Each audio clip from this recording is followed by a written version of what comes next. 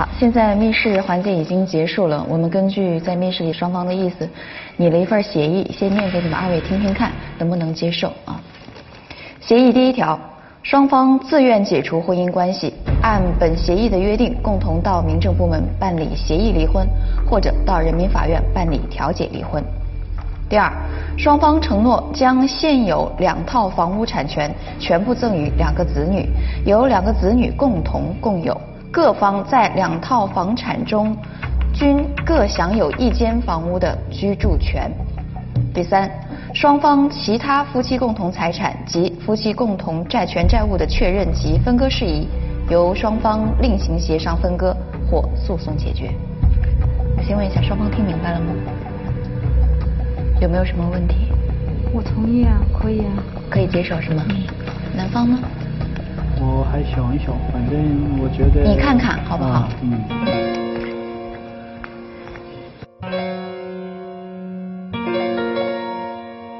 嗯，我还是按照我之前说的，我同意和他再协商。我现在还是不签字，是不是。你是说需要时间再考虑一下？哎，需要时间再考虑。刘先生需要时间再考虑离婚的问题。其实他仍然不想放弃这段感情，但是王女士却觉得刘先生又在逃避问题。她希望刘先生给一个具体的期限，要把这些事情处理完了。还有什么事要处理？还有，就像这个事情要说好完整了，是吧？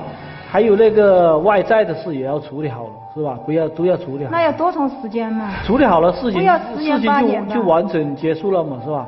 这样，这样，刘先生，呃，用一个星期的时间来考虑这个协议的内容的问题。如果一个星期您考虑的有结果，或者是依然没有考虑成熟的话，那我们建议，呃，王女士，呃，通过法律的途径，如果考虑成熟，我希望你们对彼此都负一些责任，不要再用逃避和拖延的方式来面对。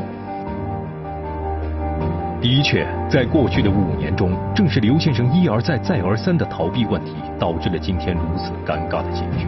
当结果已成定局，白燕一认为刘先生需要调整自己的心态。我们都说爱是什么东西？爱其实很简单，就是愿意为我爱的那个人付出。今天离婚，恰恰是因为没有爱。是对二十多年自己曾经的选择，以及对那两个二十多岁的孩子，该如何去做出一个父亲、一个母亲应有的这样的一个榜样的时候，我觉得我们真的应该谨慎的去考虑一下。中国最不喜欢提离婚两个字。宁拆十座庙，不破一桩婚。但是，随着时代的发展到今天，我们说任何的错误都有可能有机会去修正。那如果说这个婚姻真的是走不下去了，我们可不可以通过结束来去修正它？可以，只要在这个过程当中，我们都尽心的为这个婚姻的修正去努力过去付出过。那么至少我结束这个婚姻，自己也不会有遗憾。故事令人遗憾，却发人深思。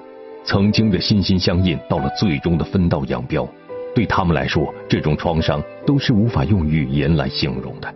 但是，互相的埋怨、互相的指责、互相的怨恨，都无法解决问题。夫妻之间应该更理性对待这段不幸福的婚姻。我们希望这对夫妻能够在离婚的时候勇敢的承担责任，积极的处理问题，更真诚的进行沟通，为这段二十三年的婚姻留下一个带有温情的背影。